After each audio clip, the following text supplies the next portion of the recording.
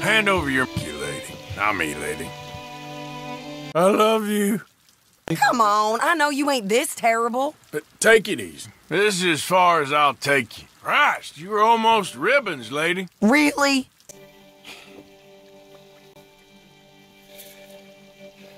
Well, you'll be sorry. Come on. Don't have to go down like this. You sure you know where you're going? Really? That Let's just talk about this, all right? Let's not be too hasty here. Let's just all take a breath here, shall we? Okay. I think we all need to calm down here. Come on, let's just talk this through. I heard it all. Yes, you didn't learn to get this done quick. Kiss me.